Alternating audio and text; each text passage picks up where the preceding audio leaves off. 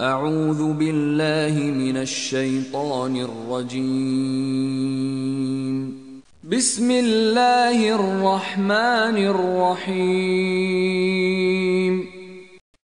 Eğer dileseydik sana vahyettiğimiz Kur'an'ı hafızalardan ve sayfalardan giderirdik. Sonra sen de onu ele geçirmek için karşımızda bir yardımcı da bulamazdın.